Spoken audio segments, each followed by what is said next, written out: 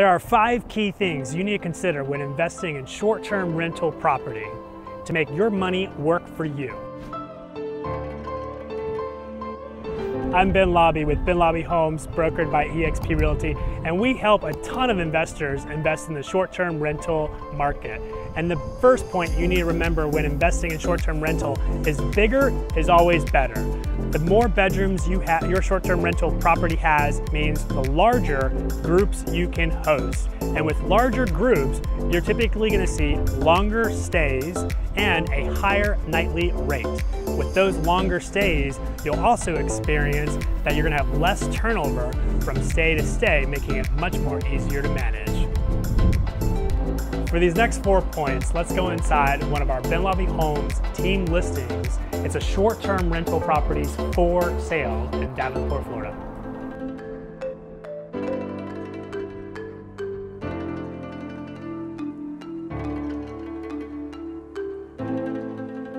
let's talk amenities. When you're considering buying a short-term rental property, the amenities are just as important as the interior design of the property. Whether it's private pools like this that are attached to your unit or community features that are a part of the community clubhouse, whether they have a putt-putt green, an arcade, or a water park. All of those amenities are gonna help attract more visitors to your short-term rental listing and you can command a higher nightly rate than your other competitive listings in the same neighborhood. So take in mind what amenities you wanna make sure that property has when you go to buy that investment. The third point when it comes to investing in short-term rental properties is to make sure you don't do this by yourself. Get a short-term rental property manager.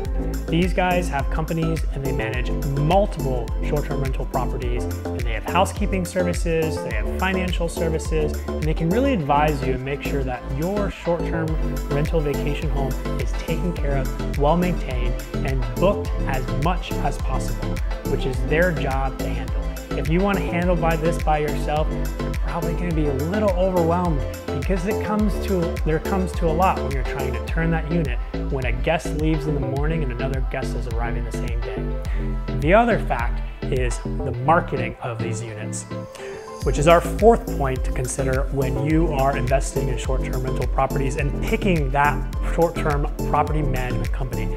You're gonna wanna make sure that they advertise your vacation listing with gorgeous professional photos and videography, just like some of these that we take. When it comes to short-term rental photos, you gotta remember that people are buying your unit for their stay and they're first searching online. So how that rental listing represented is represented online matters whether they're gonna click the book button or go on to the next listing. Every great investment comes down to the numbers. And when you're sitting down and crunching the numbers on your next short-term rental investment, you gotta consider, look at the annual numbers, not the nightly rates right? To determine the performance of a short-term rental home, you should be always looking at the annual revenue and the annual expenses. It'll be much easier to determine if it's a good investment rather than trying to figure out the average rate, which changes month to month and season to season.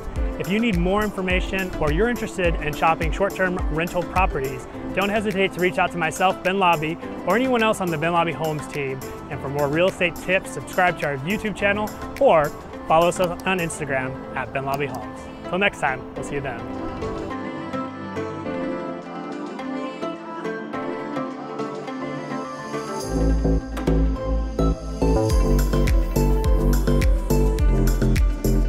Hey, it's Ben, team leader of Ben Laube Homes. If you like this video, check out our next one or anything else on our YouTube channel by hitting the subscribe link, or start your home search at our website anytime you want.